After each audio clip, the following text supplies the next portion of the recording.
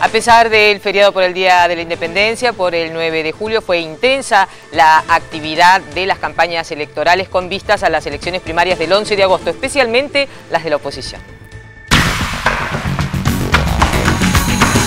A días del inicio formal de la campaña hacia las primarias, aún sin contenidos audiovisuales o gráficos, todos los candidatos siguen una danza de actos con reportajes y hasta clases públicas. Es el hecho de Rodolfo Terraño, dentro del conglomerado UNEN, presentando reformas para darle celeridad a las denuncias de corrupción.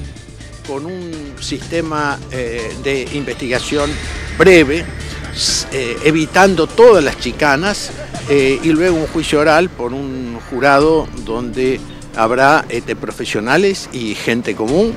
Eh, y si se cumplen todos los plazos, eso tendría que terminar antes de los dos años. También, en el mismo sector, la subdivisión Carrió-Pino Solanas dicen interpretar a la gente y prometen gobernar el país. Nosotros vamos a una salida. Yo creo que la Argentina lo que quiere es salir de esto. Y salir de esto democráticamente, republicanamente, de la manera no violenta. Y es muy bueno que vayamos paso a paso. Para nosotros, para toda la fuerza, primero hay que ganar las pasos, eh, después hay que ganar la capital y después hay que ganar el país. Tiene todo el conocimiento para asegurar un proyecto a corto, mediano y largo plazo de reconstrucción nacional.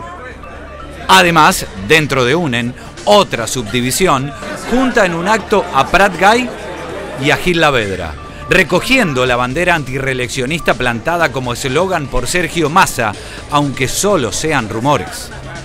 Este, nosotros ya nos hemos pronunciado en el Congreso y esperamos también que todo fantasma en torno a la perpetuación en el poder quede definitivamente alejado luego de las elecciones del mes de octubre de este año. ¿Tiene sentido hacer una campaña en torno a fantasmas, ya que no hay una propuesta oficial de reforma constitucional ni de reelección? bueno, pero este, que no hay fantasma, pero que se habla de brujas, se habla, ¿no? Por su parte, el mayor aparato de difusión de esta campaña que respalda al intendente de Tigre dio definiciones políticas que ni el propio Massa se atreve a dar.